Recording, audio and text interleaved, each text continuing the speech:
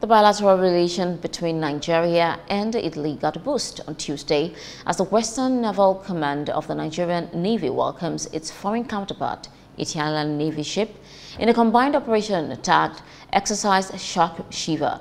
In his remarks, the flag officer commanding Rear Admiral Oladele Daji said the exercise was to further strengthen maritime security and that the bilateral relations between both countries.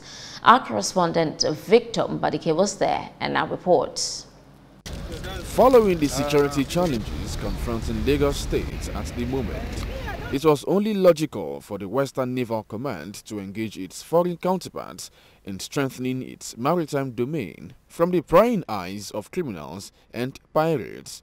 To this end, the command welcomes Italian warship ITS Martinengo to join the exercise Shark Shiver in the quest to fight off saboteurs.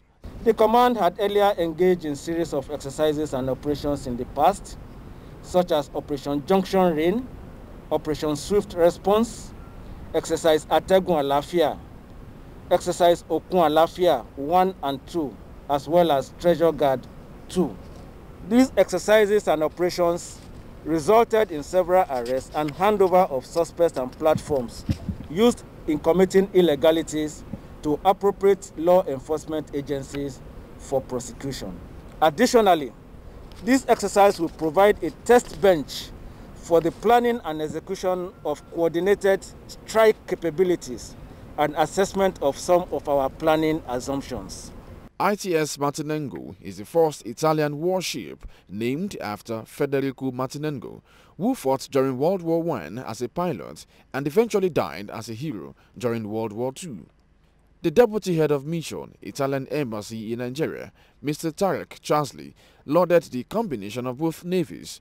According to him, maritime crime has taken an international dimension and as such should be given corresponding response. If you want to combat piracy in this part of the world, if you want to create security, uh, this is uh, a key partner every navy has to work with. Five participating ships, namely NNS Prosperity, NNS Karaduwa, NNS Unguru, NNS Ekulu, and NNS Ose, as well as a detachment of Special Boat Service, all took part in the exercise.